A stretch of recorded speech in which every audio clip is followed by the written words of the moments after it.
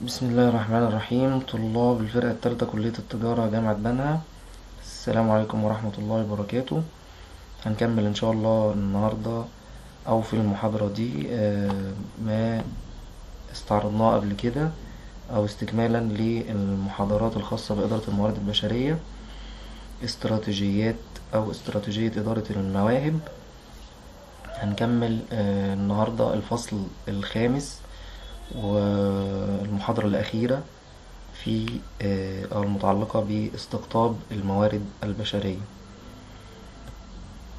استقطاب الموارد البشرية آه، وظيفة مهمة جدا الحقيقة من وظائف إدارة الموارد البشرية وبتتكامل زي ما قلنا مع باقي الوظائف اللي تكلمنا عنها في محاضرات سابقة آه، فيما يتعلق بتخطيط وتصميم العمل أو تخطيط وتصميم الوظائف.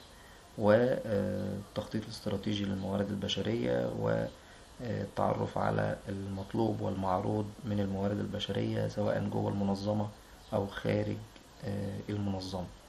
الاستقطاب هنا بيبقى دوره أو بيتعلق بجذب وبناء مجموعة من المهارات الجديدة أو المهارات المطلوبة لشغل وظائف أو وظائف شاغرة محددة جوه المنظمة. الاستقطاب مهم جدا إنه يوفر لي المتطلبات اللي أنا دورت عليها أو حددتها في ال- الوظائف السابقة من آه، تحديد الاحتياجات المطلوبة لل آه، أو الاحتياجات احتياجات المنظمة من الموارد البشرية. الحقيقة اللي بيقوم على الوظيفة دي أو القائم عليها هو بنسميه المستقطب سواء كان هو مدير الموارد البشرية أو من خلال جهات أو وكالات متخصصة في عملية الاستقطاب. والمستقطب هنا هو الشخص القائم على جذب آه، المهارات والأعداد المطلوبة من آه، الموارد البشرية اللازمة لشغل الوظائف المتاحة جوه المنظمة. زي ما قلنا الاستقطاب وظيفة مهمة جدا وبيتعامل مع باقي الوظائف اللي تمت في مراحل قبل كده. يعني ببني عملية الاستقطاب بتبنى على ما تم إنجازه من تخطيط الموارد البشرية فيما يتعلق بالأعداد والأنواع المطلوبة من الموارد البشرية وكذلك متطلبات وأعباء الوظيفة ودي موجودة في تخطيط وتصميم الوظائف ودول تطرقنا ليهم في آه، محاضرات سابقة.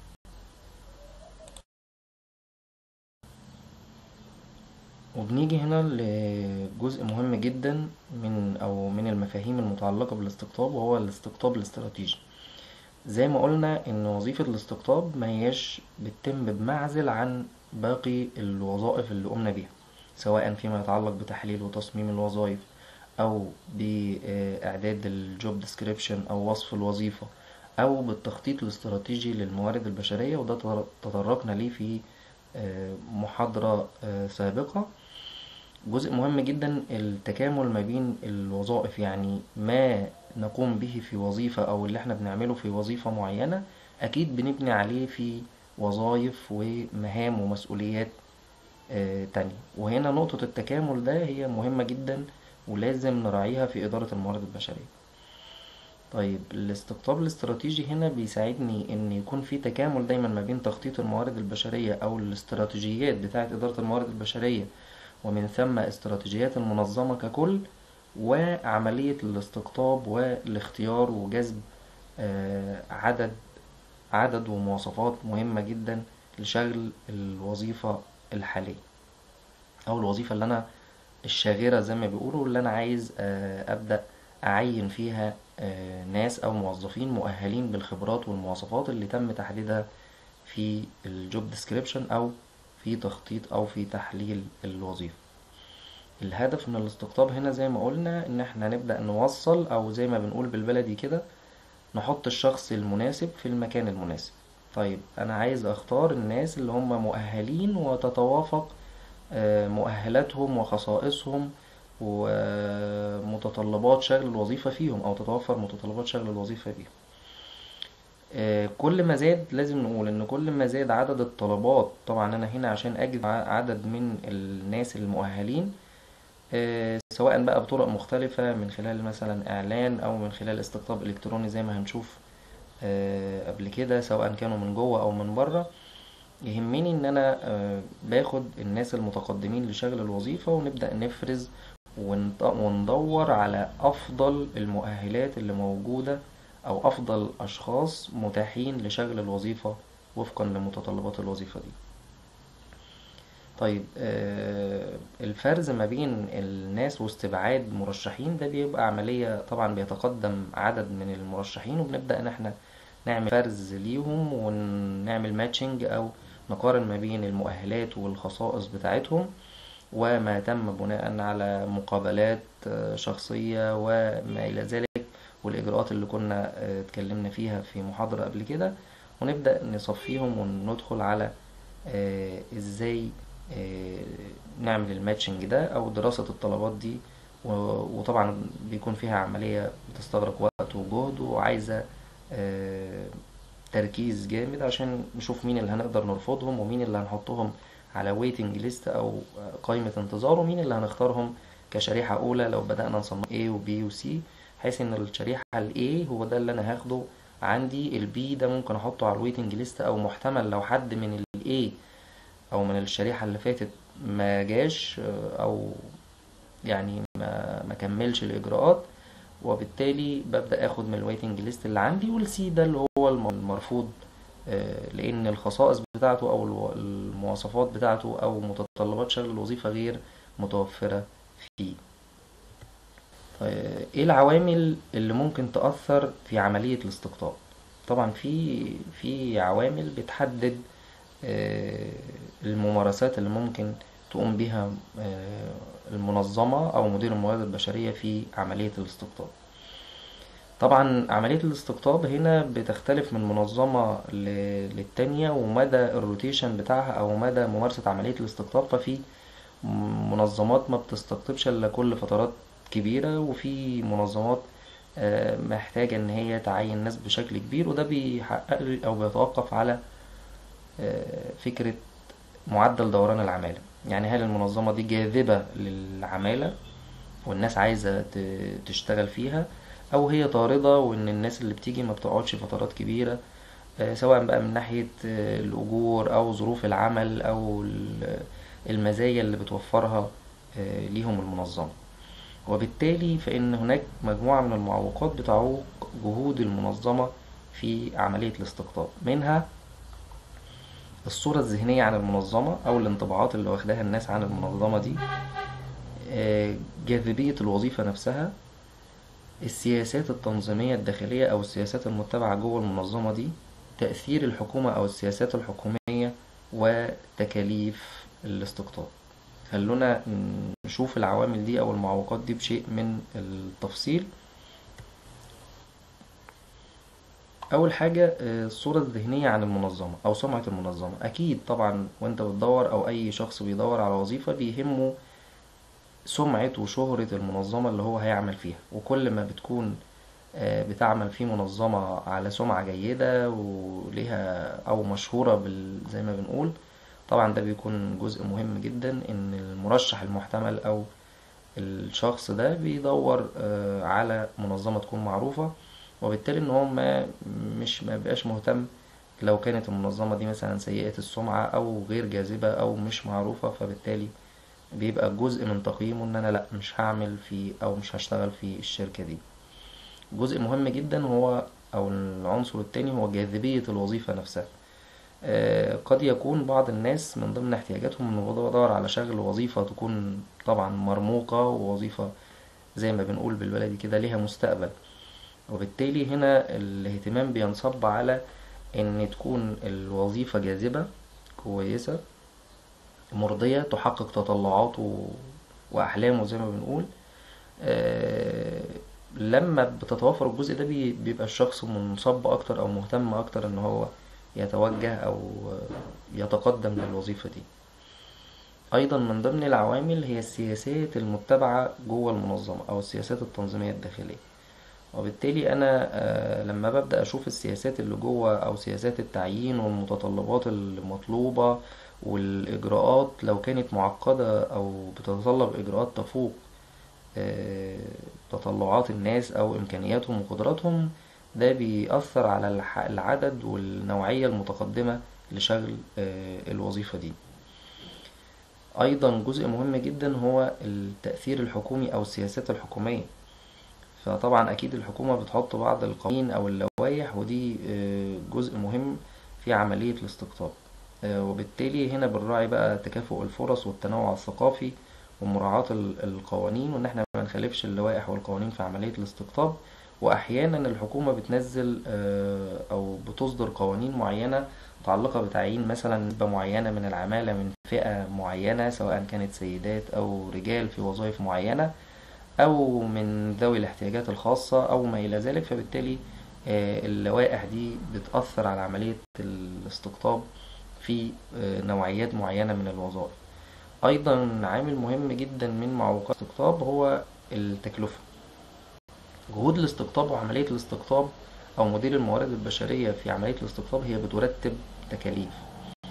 آه، قد تكون أو تختلف طبعا التكاليف من منظمة للتانية ففي منظمات ممكن تكون التكلفة مرتفعة أو تكلفة الاستقطاب مرتفعة فيها جدا في منظمات تكون تكلفة الاستقطاب آه، منخفضة جدا على الرغم إن في النقطة دي تحديدا إن عملية الاستقطاب الإلكتروني قللت بشكل كبير من ال- التكاليف.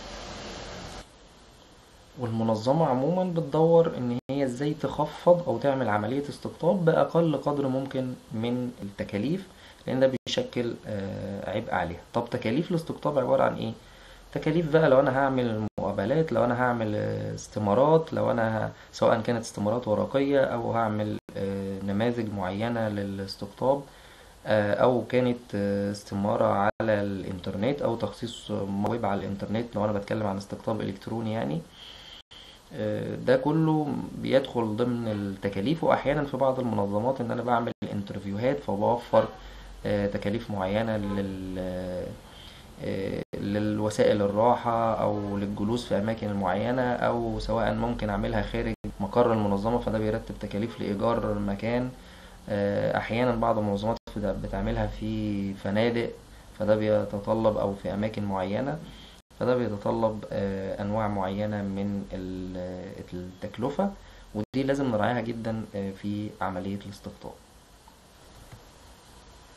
مجالات الاستقطاب المنظمة هنا آه، لازم تراعي مجموعة من العوامل وأنا ب- هستقطب آه، مورد بشري. هنا قدامي ثلاث مجالات للاستقطاب. آه، أولا سياسات الأفراد أو السياسات المتبعة جوه المنظمة. ثانيا مصادر الاستقطاب إيه المصادر اللي أنا ممكن أجيب منها الناس. ثالثا خصائص ومواصفات الأفراد اللي هم القائمين على عملية الاستقطاب ودي بتأثر في آه، استقطاب وجذب الموارد البشرية للعمل في المنظمة. أول حاجة سياسات الأفراد أو سياسات الموظفين أو سياسات المتبعة أو سياسات الموارد البشرية في المنظمة. ودي آه، بتأثر في كيفية ممارسة أعباء إدارة الموارد البشرية آه، وكيفية آه، ملء الوظائف الشاغرة أو الطريقة المتبعة سواء بقى إحنا هنعين من الداخل أو هيعين من الخارج زي ما بنقول كده. ودي بتأثر على طبيعة الوظائف الشاغرة وحجم ومواصفات الناس اللي متقدمة لشغل الوظائف.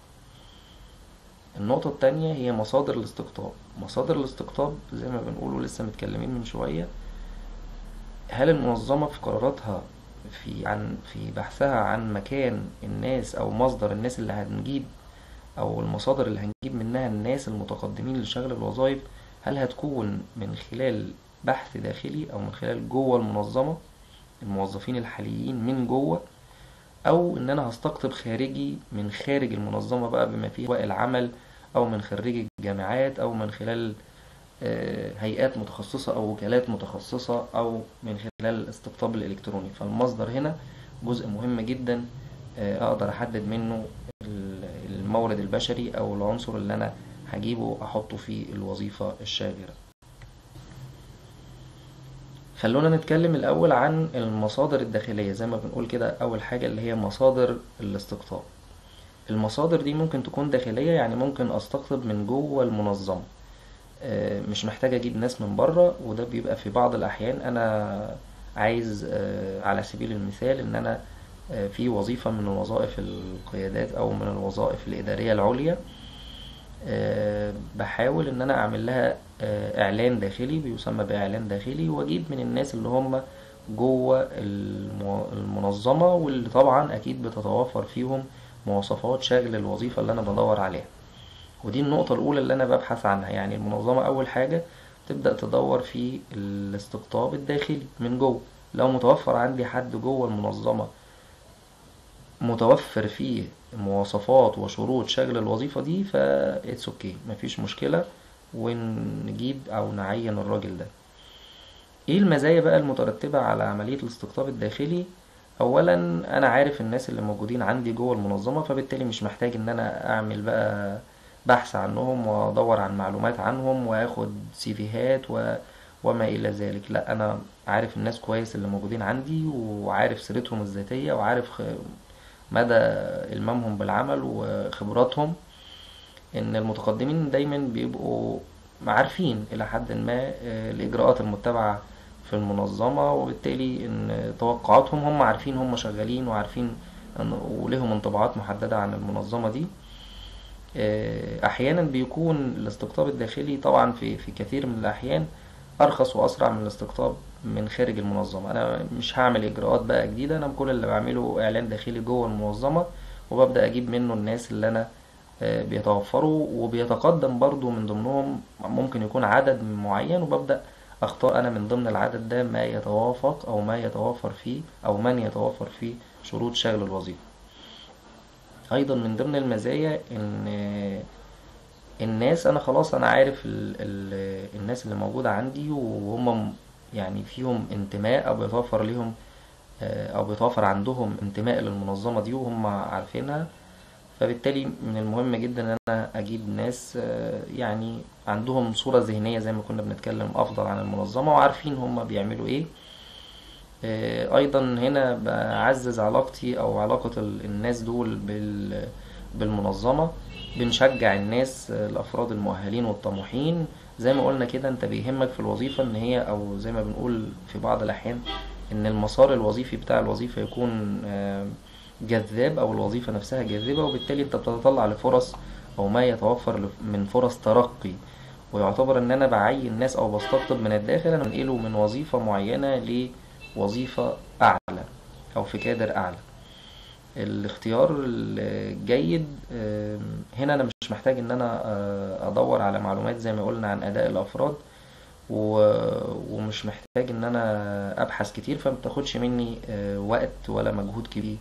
بالمقارنة طبعا بعملية الاستقطاب الخارجي أيضا لو أنا آه، في الاستقطاب الخارجي أنا لسه هجيب موظف فمحتاج إن أنا أعمل له تدريب أو يعني أطلعه على مهام واعباء العمل الجديدة وده بيتضمن عمليات توجيه وتدريب وقد ترتب آه، تكاليف معينة لو أنا محتاج حاجات متخصصة قوي.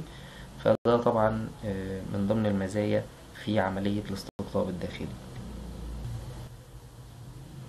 المصادر الخارجية بقى آه، لو أنا لم أجد المصدر الداخلي مناسب لاستيفاء متطلبات شغل ال- الوظيفة دي.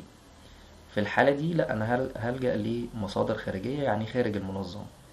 وفي بعض الأحيان ما بيبقاش متاح إن جوه المنظمة الناس بالخبرات والمهارات اللي الوظيفة دي محتاجها آه، ومحتاج إن أنا أجلب أو آه، أجذب ناس جديدة تشتغل آه، جوه المنظمة.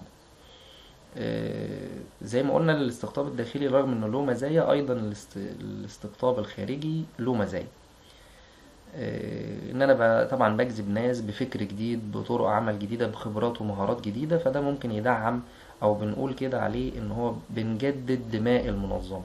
ان إحنا بنحاول نجيب أفكار وناس شغالة بطرق جديدة وكان عندهم خبرات أو لديهم مهارات معينة آه، قد تفتقد المنظمة وجود هذه ال- المهارات.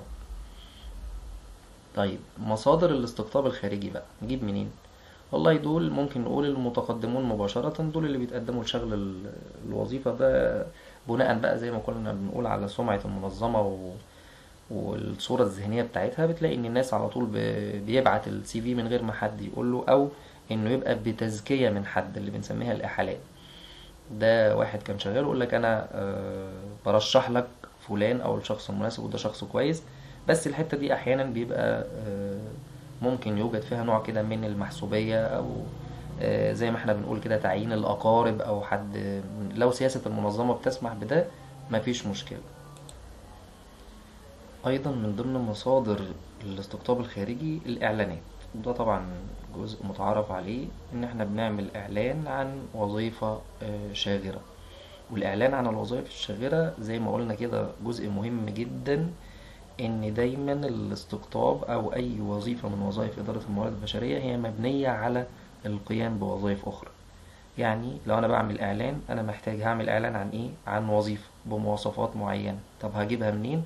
من خلال تحليل وتصميم الوظائف أو من ال job description طيب مواصفات وخصائص شاغل الوظيفة برضو أنا حدد حددتها في ال job description طب بالنسبة للأعداد هاخد كام واحد؟ أو محتاج عدد كام؟ لأن في الإعلان مطلوب إن أنا هقول مطلوب عدد كام موظف العدد اللي أنا عايزه.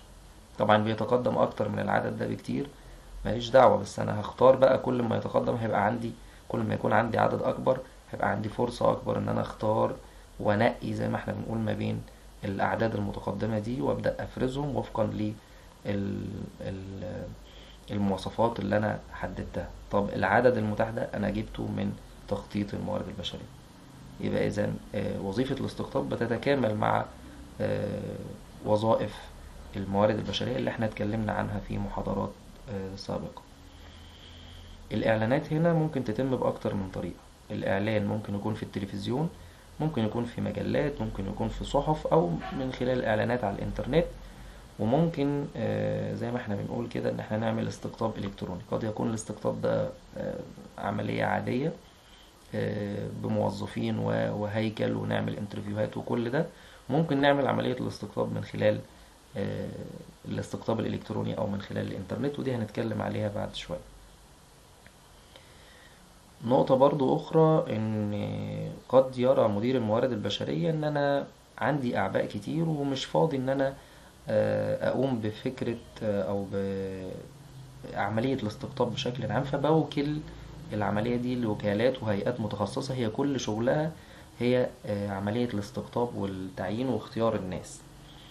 ففي وكالات متخصصة آه، بتكون في آه، من أبرز المهام بتاعتها إن هي توفر لي العدد ده. طبعا بيكون بمقابل يعني بمقابل مادي إن أنا أديها المهام دي وبقول لها أنا عايز ناس بمواصفات معينة وعدد معين وبخبرات ومؤهلات معينة لوظائف متاحة أو لوظائف شاغرة عندي في المنظمة وبتبدأ الوكالات دي تنوب عنك أو عن المنظمة في اختيار الناس بالمؤهلات آه، المطلوبة الوكالات دي قد تكون طبعا تختلف حسب طبيعة النشاط وحسب الهدف منها قد تكون وكالات عامة أو وكالات خاصة أو حكومية.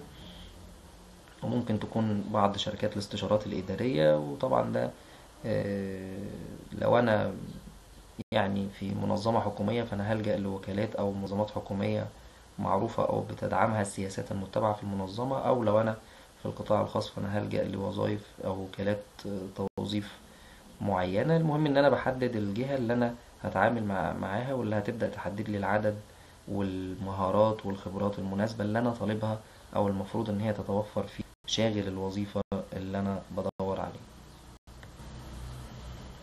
أيضا من ضمن المصادر طبعا المدارس والكليات والجامعات أو خريجي ال- الجامعات بشكل عام أو المنظمات التعليمية. ودول بيبقى يتوفر فيهم المؤهلات والخصائص المطلوبة. أيضا في ما, يسمى أو ما يعرف بمعارض التوظيف. أحيانا من فترة للتانية بنعمل زي تجمعات كده للتوظيف وبنبدأ نقول نجمع الشركات أو الناس اللي هي راغبة في آه، أو بتطلب آه، ناس أو عندها وظائف شاغرة أو محتاجة لم- لمتخصصين أو مهارات معينة وبيبدأ نطلب من الناس تعالوا ده في معرض للتوظيف قدم مهاراتك أو قدم السي في بتاعك أو قدم خبراتك.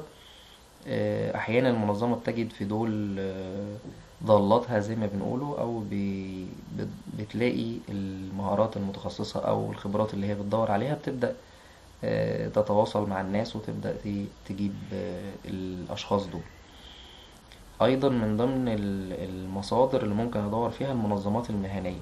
المنظمات المهنية زي بعض النقابات العمالية آه، دي طبعا بيكون متخصصة أو بتوفر آه، مهارات معينة في مهن معينة مثلا آه، ودول بيبدأ إن أنا أدور أو عندهم قوائم كده الوظائف أو قوائم بالناس المتخصصين في مجالات معينة دول أقدر أدور فيهم وآخد الناس اللي أنا بطلبهم لشغل وظائف محددة أيضا من ضمن المصادر إن قد يتقدم بعض الناس أنا مش متوقع إن هم آه، أو مش مخطط إن هم يجوا دول ممكن ناس بتقدم آه، طلبات بتبدأ توفر السي في بتاعها أو بتبدأ تبعته على بريد إلكتروني أو من خلال آه، تطبيق معين على المحمول أو الموبايل. ودي بتبدأ نبدأ نتواصل معاهم نبدأ نشوف ونحدد لهم ميعاد لل interview ونبدأ نخش في إجراءات بقى التعيين واختبارهم وما إلى ذلك. نقطة مهمة جدا وهي الاستقطاب الإلكتروني أو الاستقطاب عبر الإنترنت. وده الوسائل اللي لسه قايلين عليها من شوية بعتمد على مجموعة من الوسائل من خلال الشبكة العنكبوتية أو الإنترنت. أقدر أعتمد على البريد الإلكتروني أو من خلال موقع ويب على الإنترنت أو من خلال بعض وسائل التواصل الاجتماعي فيسبوك تويتر أيا كان. آه، أبدأ بقى أنشر الإعلان بتاعي أو الإعلان المطلوب أو العدد المطلوب بالمواصفات وما إلى ذلك وأبدأ آه، أتواصل مع الناس وأبدأ يقدموا أو يرفعوا المستندات بتاعتهم على الموقع ده. وأحيانا بيبقى للمنظمة موقعها تطلب منهم إن هم يتواصلوا معاها عبر موقع الشركة المنظمه دي. وممكن يكون ده من موقع خارجي زي ما بنقول أو وكالة خارجية أو وكالات متخصصة في عملية الاستقطاب. جزء مهم جدا آه، إن أدور دايما على المصادر المناسبة أو اقيم جودة مصدر الاستقطاب اللي أنا هجيب منه الناس وده جزء مهم جدا. مصادر الاستقطاب هنا الهدف إن أنا أحدد أفضل مصدر أجيب منه ناس. من ضمن المصادر اللي إحنا قلناها قبل كده مصادر متعددة كتيرة جدا. طب هل أنا أعتمد على مصدر واحد منهم أو أكتر ولا هعمل مزيج ما بينهم ولا أشوف انه مصدر أفضل بالنسبة لي بس ده بيتوقف على عدة اعتبارات. آه، يهمني قوي إن أنا أوفر آه، مصدر مناسب في ضوء زي ما بنقول كده حاجة بنسميها نسبة العائد أو النسبة المئوية للناس اللي تقدموا وانتقلوا بنجاح من مرحلة أو من مرحلة واحدة في عملية الاستقطاب والاختبار للمرحلة التالية. يعني دايما في مصادر بتوفر لي ناس ممكن أعمل لهم كده أول مرحلة من المراحل عملت interview أو مجرد ما أقدم ال CV أو مؤهلاته أو خبراته وما يتعلق بذلك فلاقي إن في مصادر معينة كده بتوفر لي ناس بمهارات هم دول أنا عايزهم. في الحالة دي أنا ببدأ أقول إن المصدر ده هو أفضل مصدر أجيب منه لأنه لقيت فيه إن نسبة المتقدمين هي نسبة أعلى وبيتوافر فيها بنسبة كبيرة جدا المواصفات والعدد اللي أنا طالبه. في الحالة دي أقدر أقول إن ده أفضل مصدر. يعني أنا بنسبة العائد دي الناس اللي تقدموا عدد الناس اللي تقدموا على المراحل اللي تم اختيارهم فيها.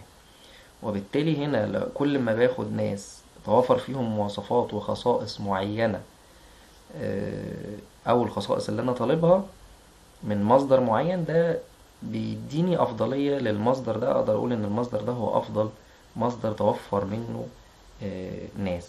طيب بيكمل ده إيه؟ بيكمل ده نقطة مهمة جدا هو عنصر التكلفة.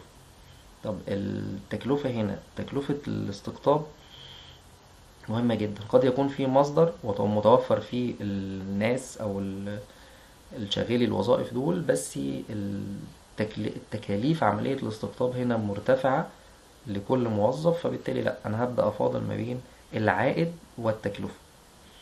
فانخفاض التكلفة بيعني إن المصدر ده أو الطريقة اللي أنا هتبعها دي بتوفر لي آه، تكاليف وده ممكن يكون أفضل بس ما يجيش على حساب المواصفات المهارات والخبرات اللي مطلوبة لشغل الوظيفة. مش عشان يبقى التكلفة أقل أضحي بحاجة لأ. هو هنا بنعمل توازن ما بين الاتنين. المواصفات والخبرات وان إن التكلفة تكون معقولة أو مناسبة. فبالتالي كل ما قل التكلفة كل ما أقول إن المصدر ده يعني يجي في الأولويات بتاعتي آه، قبل مصادر أخرى مرتفعة التكلفة. النقطة الثالثة زي ما قلنا من مجالات الاستقطاب أو المؤثرة في عملية الاستقطاب هي سمات وسلوكيات المستقطب سواء كان القائم على عملية الاستقطاب دي. آه، مدير الموارد البشرية أو آه، أشخاص أخرى داخل المنظمة موكل إليهم المهمة دي أو آه، وكالات توظيف خارجية. طب إيه اللي بيحدد لي أو إيه اللي بيأثر في عملية الاستقطاب؟ رقم واحد خصائص المستقطب نفسه أو الناس اللي هم بيشرفوا أو بيشغلوا الوظيفة دي أو قائمين عليها الناس اللي بيختاروا أو قائمين بعملية الاستقطاب أو قائمين بعملية جذب الموارد البشرية المناسبة. تاني حاجة سلوك المستقطب نفسه. لازم تكون سلوكيات المستقطبين دول بتركز على جذب المرشحين المؤهلين المناسبين.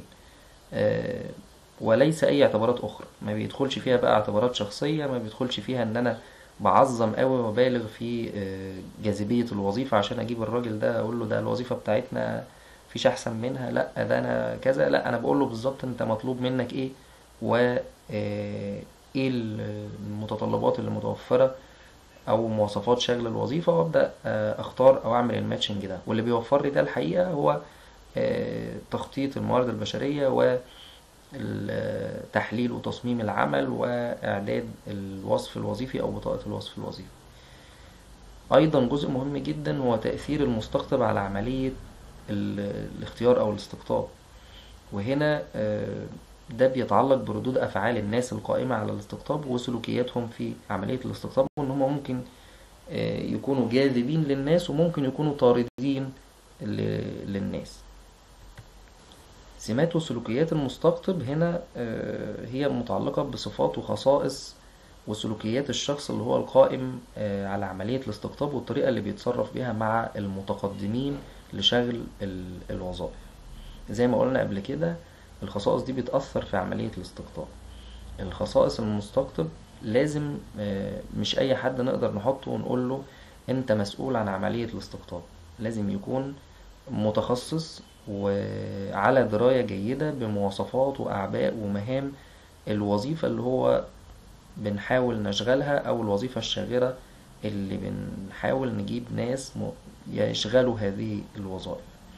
سلوك المستقطب السلوك ده انت مهم جدا ان سلوكياتك في التعامل مع الناس تكون سلوكيات مقبولة من الناس ولا تؤثر بشكل سلبي على آه، الم- المنظمة أو على الناس المتقدمين لشغل الوظائف.